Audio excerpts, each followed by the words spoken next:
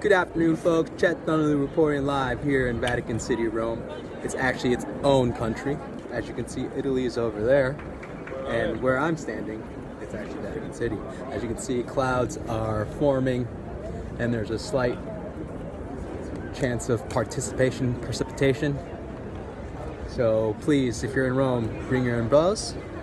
And back at home, hope everything is all right. I heard it's really chilly. Again, I'm Chet Thunderloo reporting live, whether you like it or not. See you later, folks.